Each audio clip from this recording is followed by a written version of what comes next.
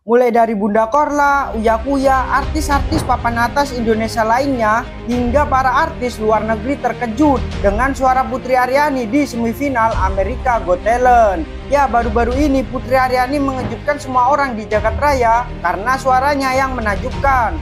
Sampai-sampai banyak orang yang menegaskan suara itu adalah fenomena paling langka di dunia.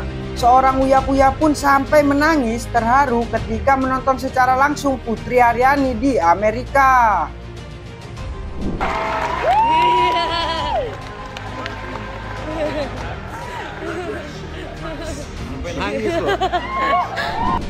Di lain sisi, meskipun Bunda Korla tidak datang langsung di Amerika, namun ia sangat kagum mendengar suara Kak Putri lewat layar kaca.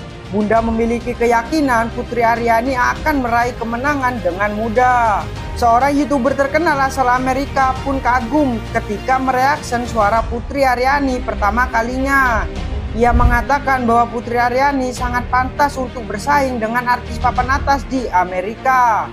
Bukan hanya itu, masih banyak ratusan youtuber luar negeri yang membuat video reaksi terhadap penampilan Putri Aryani saat bernyanyi di semifinal. Kesimpulan yang mereka semua bagikan adalah bahwa penampilan Putri Aryani adalah suatu keajaiban yang luar biasa dan tak terlupakan.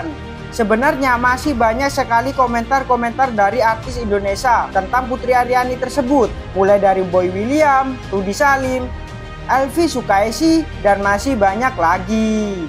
Bukan Indonesia saja, dari para negara-negara luar pun ingin sekali vote Putri Aryani untuk memenangkan Amerika Got Talent tersebut.